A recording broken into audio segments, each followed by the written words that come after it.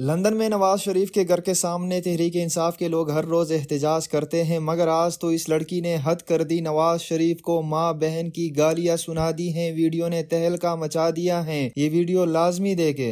Flight नहीं होगी तेरी औकात है उम्र करने की भिकारी की नस्ल तेरी माँ तो सड़ी है जहनुम में तुझे पैदा करके उसने सबसे बड़ा गुना कर दिया ज़मीन पर।